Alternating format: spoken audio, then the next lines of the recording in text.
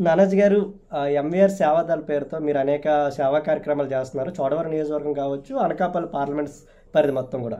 అసలు ఎప్పుడు మీకు ఎంవీఆర్ పరిచయం? ఎంఈఆర్ పరిచయం అంటే నాకు ఆ గ్రామం నుంచి ఈ గ్రామం నుంచి వినికిడి విన్నాను.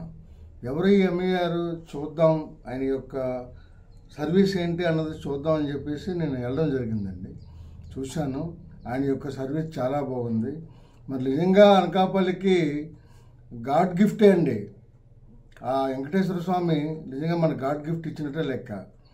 ఏ పార్టీలో లేకుండా ఏ నువ్వు నాకు ఓటేస్తావా నేను ఈ సాయం చేస్తానన్న కాకుండా ప్రతి ఒక్కరికి న్యాయం చేస్తున్నారు సాయం చేస్తున్నారు.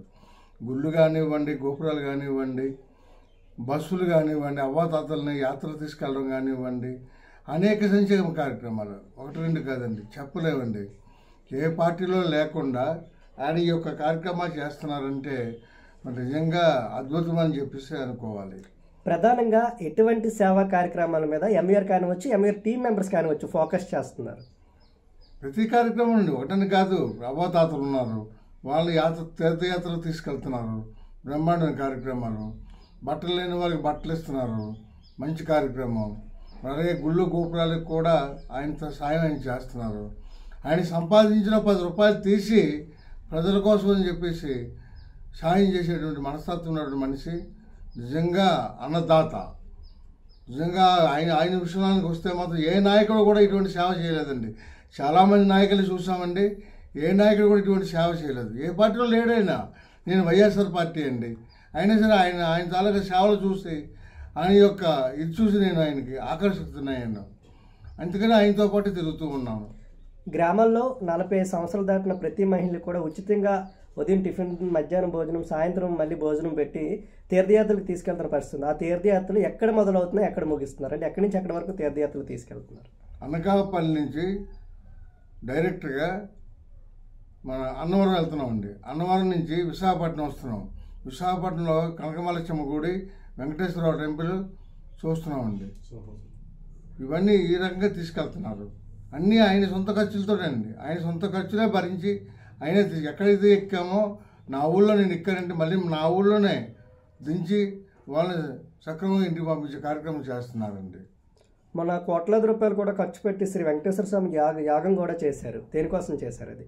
ప్రజల కోసం. ప్రజలందరూ సురక్షితంగా ఉండాలా? అందరూ క్షేమంగా ఉండాలని ఆలోచించాం అంతేగాని ఆయనకి ఏదో కావాలని ఏదో రావాలని కాదండి. ప్రజలు క్షేమంగా ఉండాలని చెప్పి ఆయన ఆ యొక్క కార్యక్రమం చేశారండి ఆ కార్యక్రమం మేము వెళ్ళామండి. మేము గ్రామాలంటే తిరిగాం అందరినీ రమ్మన్నాం అందరూ వచ్చారు. హ్యాపీగా వచ్చి అక్కడ ఆ కార్యక్రమంలో పాల్గొన్నారండి. ఎంతో హ్యాపీగా తిరిగి మళ్ళీ వెళ్ళారండి. గ్రామాల్లో దేవాలయాల అభివృద్ధి అభివృద్ధికి కూడా వేలాది రూపాయలు కూడా ఆయన విరాళాలకు ఇస్తున్న పరిస్థితి ఉంది. ఇప్పటి వరకు ఎంతవరకు ఇచ్చారు? ఎంతమందికి ఇచ్చారు చాలా గ్రామాలు ఇచ్చారండి. చాలా గ్రామాలు ఇచ్చారు. చాలా డబ్బులు ఖర్చు పెట్టారు.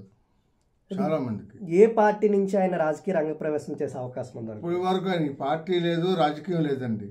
ఏ పార్టీలో లేరైనా ఏ రాజకీయంలో లేరైనా ఆయనకి కావాల్సింది ఏంటంటే ప్రజలు ప్రజల క్షేమం ప్రజల యొక్క సంక్షేమం కావాలా?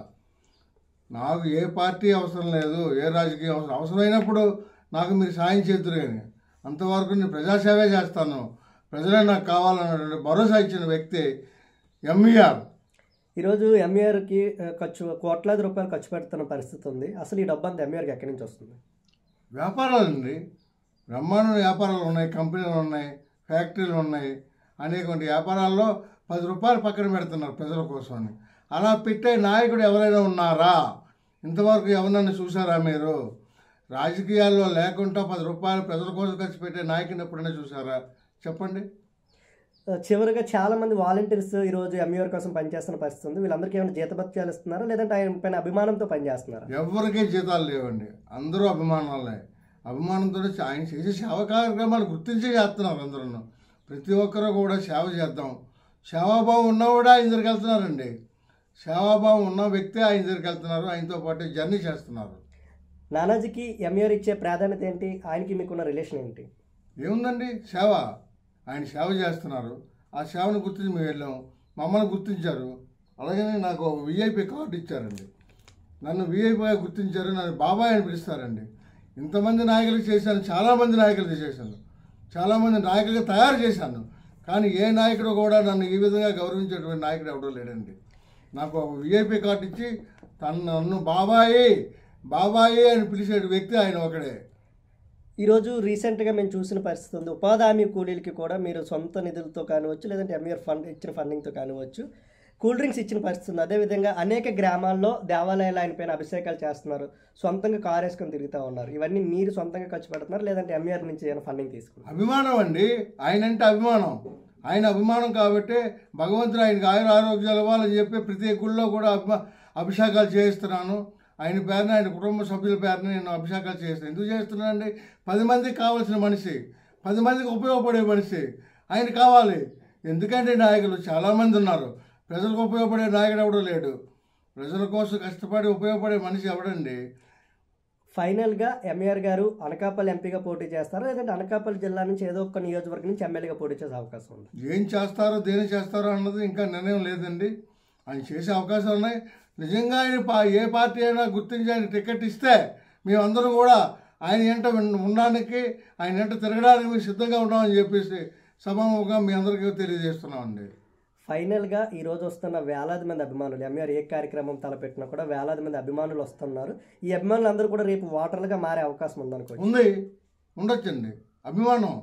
అభిమానం ఉంది కాబట్టి అందరికి వస్తున్నారు. అభిమానం లేకపోతే ఎవరు రారు కదండి? ఈరోజు మనిషికి ఐదు వందల రూపాయలు కూలండి. అటువంటి కూలు వదిలేసుకొని వస్తున్నారంటే అభిమానం ఉంది కాబట్టి ఆయన చేసే సేవా కార్యక్రమాలు గుర్తించే కదండి వస్తున్నారు. లేకపోతే రారు కదా. ఎంతమంది వచ్చారండి? మన మన శ్రీనివాస కళ్యాణ్కి ఎంతమంది వచ్చారండి? అనకాపల్లి ఈనిందా? ఆకాశం పండిందా? అన్న రీతిలో వచ్చినటువంటి జనాలు. మీరు ఆ రోజు అనకాపల్లి చూసారో లేదో ఎక్కడ ఏ వీధి ఖాళీ లేదండి. ఫైనల్గా ఎంఆర్ కాసు ఏం చెప్తారు? ఎంఈఆర్ చెప్పడం ఏందండి? ఆయన భగవంతుడు ఆయురారోగ్యాలు ఇవ్వాలని పది మంది సేవ చేసేటువంటి దృక్పథం ఆయనలో ఉంది కాబట్టి పదివేలకి రాజకీయంగా ఎదగాలని రాజకీయ పార్టీ ఏ పార్టీ అయినా గుర్తిస్తే ఆయన కంపల్సరీ ఎంపీ అవుతాడని చెప్పి ఇవాళ సభాముఖం మీకు అందరూ తెలియజేస్తున్నానండి మూడు లక్షల మూడు లక్షల మెజార్టీతో గెలుస్తారండి. ఏ పార్టీ టికెట్ ఇచ్చినా ఆయన మూడు లక్షలతో గెలుస్తాడండి. ఇంచేత ఆయన సర్వీస్ని చూశాను. ఆయన చేసే సర్వీస్ని చూశానండి. నిజంగా భగవంతుడు ఆయనకు ఆ అవకాశం ఇవ్వాలని కోరుకుంటున్నాను.